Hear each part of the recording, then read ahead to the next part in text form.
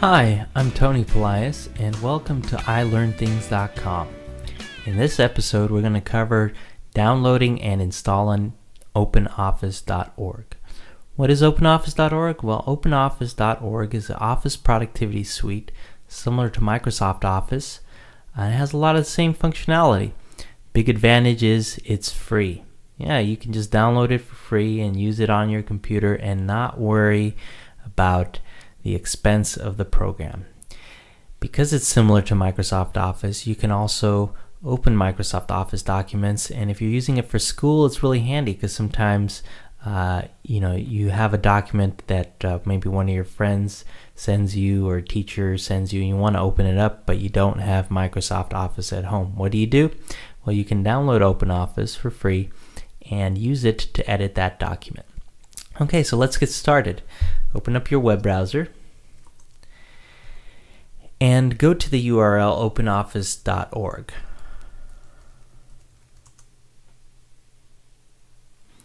This is the website uh, for the program. You can get quite a bit of uh, information about it if you have any questions. It's licensed under the LGPL license, which is the lesser GNU general public license. And uh, basically, what that means is it's free for you to download. Uh, you can distribute the source code. Uh, you can submit changes, um, and it's uh, you know pretty awesome. Back in the main web page, if you want to download it, you have this uh, button right here. It says I want to download OpenOffice.org. Just click on that. Um, what it does is it uh, determines what kind of operating system you have because OpenOffice is available in many different languages and uh, many different operating system versions. So if you have uh, Windows or Mac or uh, Linux, uh, maybe your language is not English, maybe you want to download it in Spanish, uh, you can do it and it's absolutely free.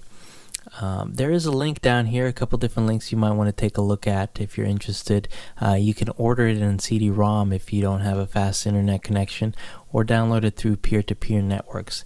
If you click on this Get More Platforms, Languages, Non-JRE versions, you can see all the different versions of OpenOffice that are available. Here's a big list, uh, and as you can see, it's in, available in quite a few different languages. Uh, the latest release at this time is 3.1.1. Not all the languages or operating system versions um, have the latest release. So the way you use this chart right here is first you pick your language. My case that would be English, this row right here. And then your operating system. You have Windows, Linux. For me that would be uh, Mac OS 10 there's two different Mac OS 10s. There's PowerPC, which is the PPC, and the Intel. I use the Intel Mac. If you have a newer Macintosh, it's probably Intel as well. You can just click on this download button. As soon as you do that, you should uh, have a pop-up that says, uh, you to save the file. So save the file, uh, but remember where you save it. If you're using a Mac, by default, that would be in the Downloads folder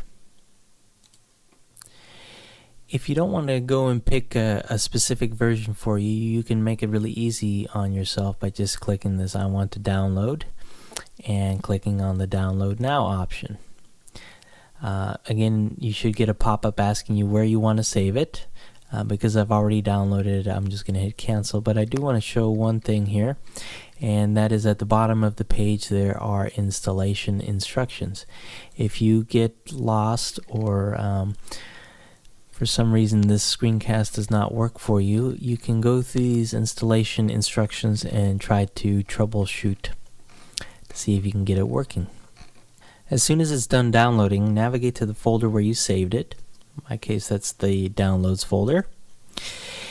And you should see it right there. Double click on the installer. If you're using a Mac, um, the installer asks you to drag the application into your applications folder.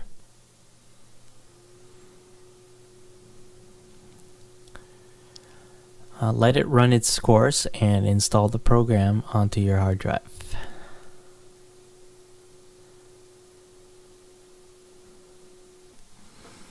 Okay, the application's finished installing, so now we're ready to run it for the first time. Since I'm using a Mac, it installs it by default into the applications folder. Uh, to run the uh, program, I have to go into my applications folder and look for an application called openoffice.org.app.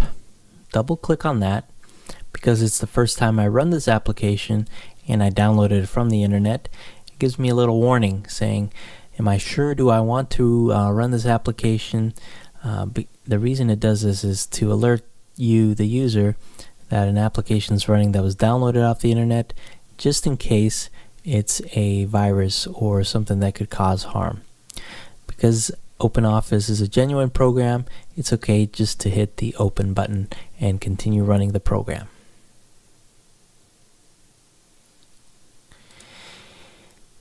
You'll see the splash screen here and as soon as it done, it's done loading, you'll get the uh, main window here. The main window shows you different options. Uh, there are several subprograms to the OpenOffice.org program, uh, similar to what you would find in Microsoft Office. You have a text document, presentations, database, spreadsheet, drawings, and formula. This would be equivalent to Microsoft Word, Microsoft PowerPoint, Microsoft Access, Microsoft Excel, and these drawing and formulas are a little different than what you would find in Microsoft Office. Go ahead and click any one of these. I'm going to hit the uh, text document and we'll open up a uh, word processor. The layout is very similar to many other word processors that are out there, so you should be pretty familiar with the way it works. You have your page right here, and in this little gray box, uh, the gray box which are the margins, you can type in whatever you want.